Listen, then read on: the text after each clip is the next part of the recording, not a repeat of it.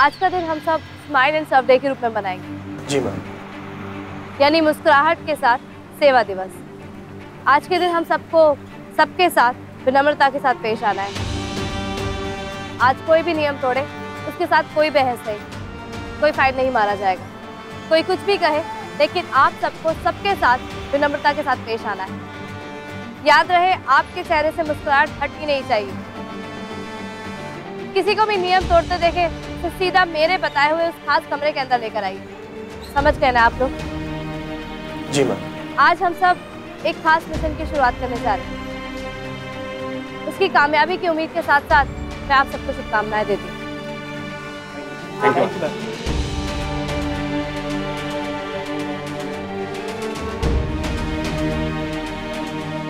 Cutout लगा के देख लिए पर्ची भी चिपका के देख लिए। पता नहीं अब मैडम जी कौन सा नया तरीका लेके आई हैं। कुछ ना कुछ तो तगड़ा ज़रूर सोचा होगा मैडम जी।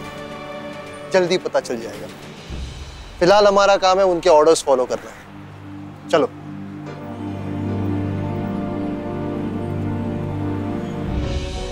मुझे पता है साहब गाड़ी चलाते समय फ़ोन में बात करना गलत है। ज़रूरी फ़ोन आ गया था इसलिए मुझे फ़ोन में बात करना पड़ा। ठीक है आप एक काम करिए गाड़ी साइड में लगाइए और आइए मेरे से बिना चलान काटे हुए आप छोड़ेंगे नहीं मुझे। नहीं आज कोई चलान नहीं काटा जाएगा। आप आइए तो।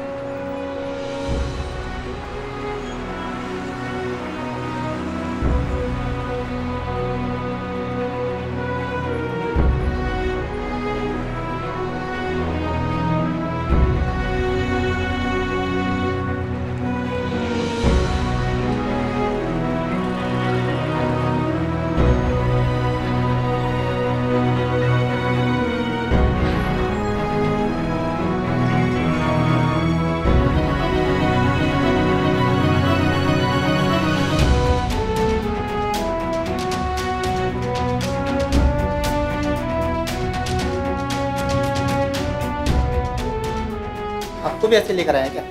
हाँ यार। यहाँ लेकर खड़ा कर दिया बस। ये सारे कंप्यूटर कंप्यूटर क्लास है क्या? पता नहीं पुलिस वाले है ना मनमानी करते हैं अपनी।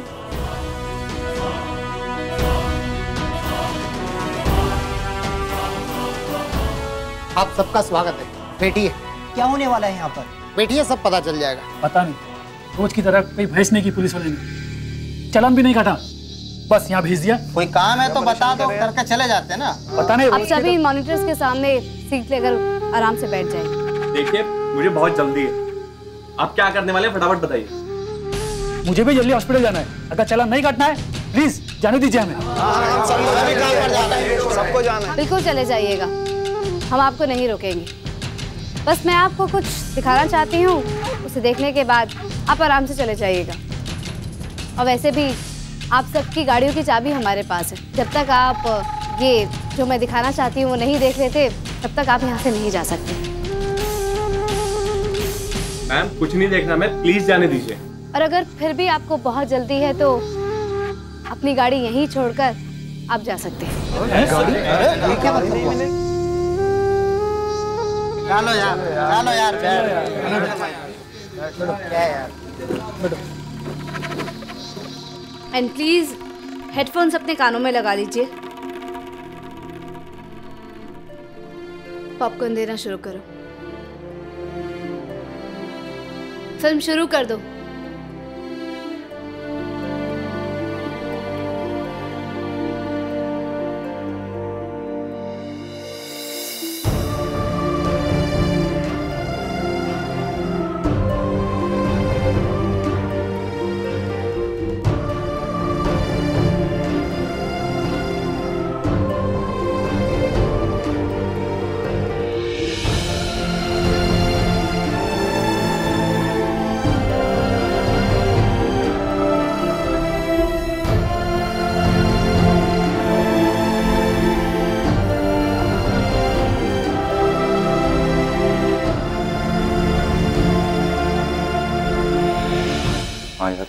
भी कई बार झूठ बोला ऐसे ही।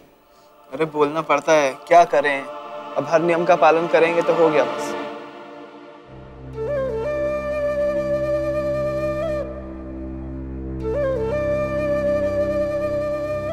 मैडम जी दस लोग और है बाहर। क्या करूँ? उनको इंतज़ार करने के लिए कहिए। जब ये सेशन खत्म हो जाएगा उसके बाद ही उनको अंदर बुलाया जाएगा। जी मैम।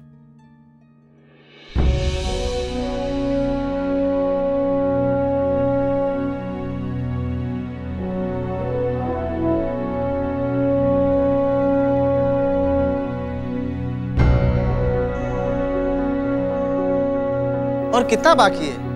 टाइम खराब हो रहा है मैडम बस आधा घंटा और। आधा घंटा? अरे यार मैं तो जा रहा हूँ। जिसको देखना है वो नहीं देख। नहीं भाई साहब। आप ऐसे नहीं जा सकते। जब तक आप ये फ़िल्म पूरी नहीं देख लेते आप में से कोई भी यहाँ से नहीं जा सकता है। एक्सक्यूज मी मैडम ये आप कैसे ज़बरदस्ती कर रही हैं आम जनता के साथ?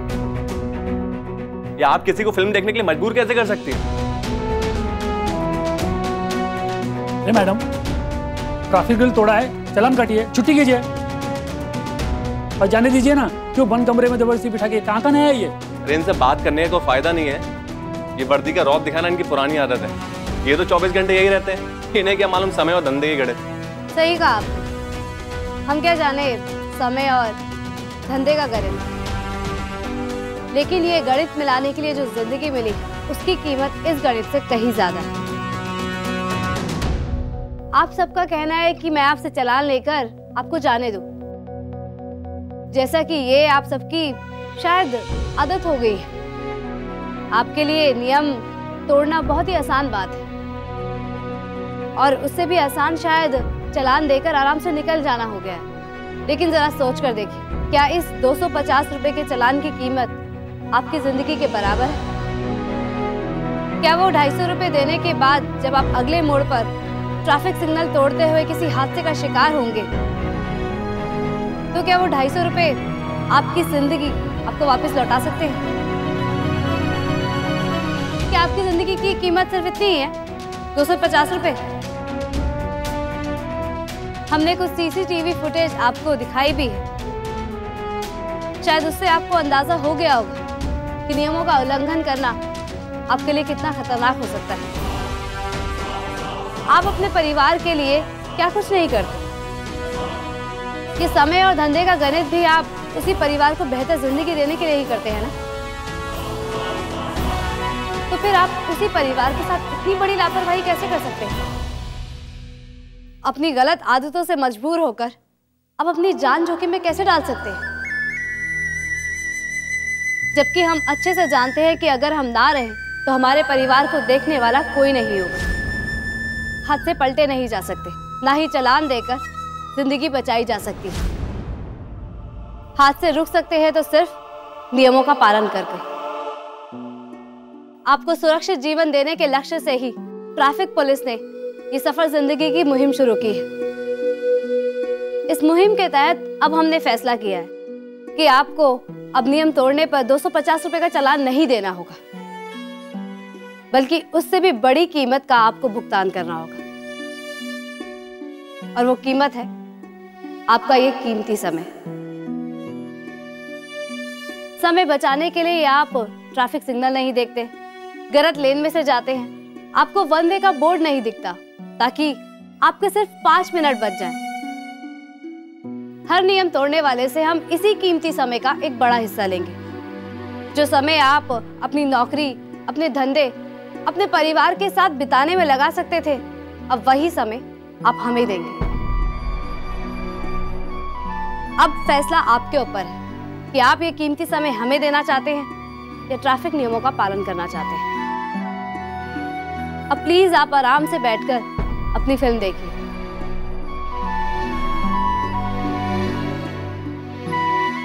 इन सबकी फ़िल्म 10 मिनट पीछे से रिवाइंड कर दो।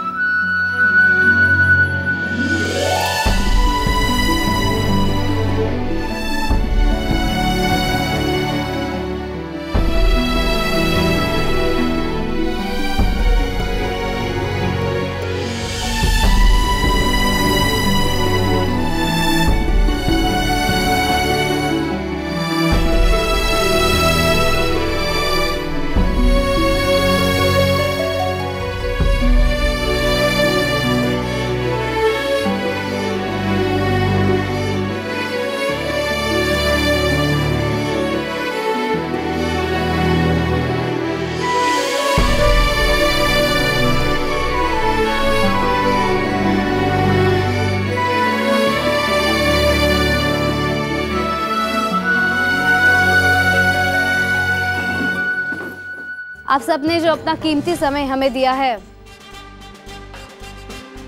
उसके लिए आप सबका बहुत बहुत धन्यवाद।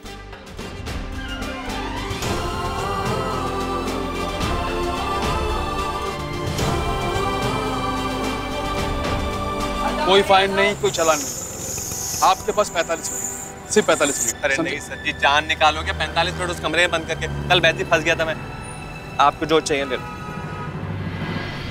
जान निकालने का नहीं जान बचाने का काम करते हैं। ऊपर से मैडम जी के ऑर्डर्स हैं। कोई नियम दस बार तोड़े या एक बार सबके लिए कानून वही। आइए। अरे सर जी माफ़ कर दो आइंदा किसी झंझट में नहीं पड़ूँगा कोई नियम नहीं तोड़ूँगा सर प्लीज़ आप बाइक नहीं लगा दो। आओ। लगा दो। ये तो सरासर मनमानी है। ये पब्लिक का टाइम खराब करना नियम के खिलाफ है। मैं तो कहता हूँ कि फाइन लेके छोड़ देना चाहिए। अरे परेशान करके रखा है लोग। क्यों? हमने भी नियम तोड़ के इन ट्रैफ़िक पुलिस को परेशान नहीं किया क्या? उल्टा मैं तो कहता हूँ कि बहुत अच्छा है। ये लोग अपनी ड्यूटी बजाने की खाना पूर्ति नहीं कर रहे। हमारी जान और कानून की रक्षा के लिए आगे बढ़ के कोशिश कर रहे हैं। हम्म। हवलदार साहब, आज ये वीडियो देखकर मुझे महसूस हुआ कि ढाई सौ रुपये में मैं अपने अनमोल जीवन का मोल लगा रहा था। आज मेरी आँखें खोल दी पुष्कर ट्रॉफी पुलिस ने। वाह, मैं तो इसे ड्यूटी से बढ़ के समाज सेवा मानूँगा और किसी का तो पता नहीं। पर इस पुलिस की मुहिम के चलते मैं कभी नियम नहीं तोड़ूँगा। और मुहिम बंद होने के बाद? उसके बाद मुहिम बंद और रूटीन शुरू। अब सिग्नल देखता रहूँगा तो मेरे बिज़नेस की आएगी लाल बत्ती जल जाएगी भाई। चलो कम से कम तुम लोग 45 मिनट बर्बाद होने के डर से ट्रैफ़िक नियमों का पालन तो कर रहे हो ना? साइन करो भाई। नहीं ये इस मुहिम की सफलता नहीं कहलाएगी। लोगों के मन में डर बैठाना अलग बात है। और ट्रैफ़िक नियमों के प्रति ईमानदार बनाना अलग। ड्राइव फॉर लाइफ मुहिम असल में तभी सफल होगी जब लोग सच्चे मन से ट्रैफ़िक नियमों की अहमियत समझेंगे। और 45 मिनट बर्बाद होने के डर से नहीं बल्कि अपना जीवन सुरक्षित रखने की भावना से उन्हें निभाएँगे।